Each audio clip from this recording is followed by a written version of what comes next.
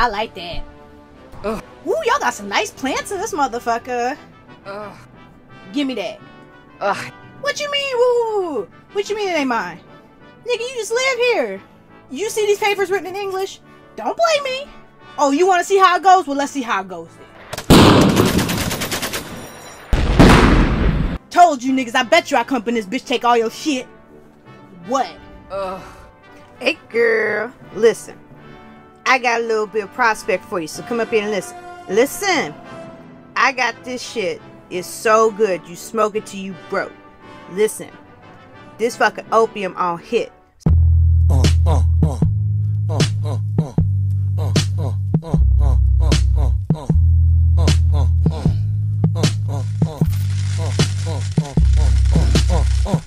Now, woo, woo, woo, woo, China, what you talking about? What you talking about?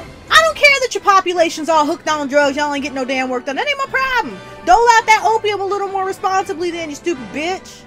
Oh, oh, so now it's my fault? You about to get your ass a beat.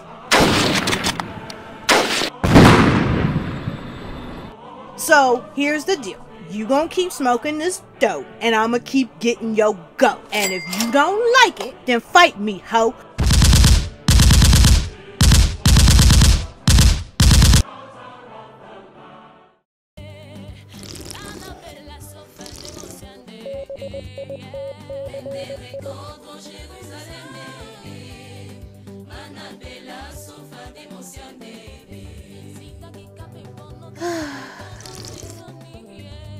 So I heard the United States decided they're gonna hold some bullshit opium commission in Shanghai, and I'm just like, why didn't you invite me?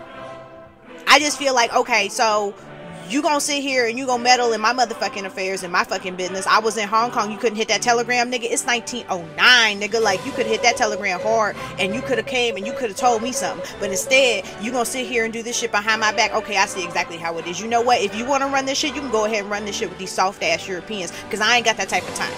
Okay, I'm not gonna have you coming in, up in my shit trying to get some bullshit laws passed, and the next thing you know, I ain't got no dope trade no more. I don't appreciate this.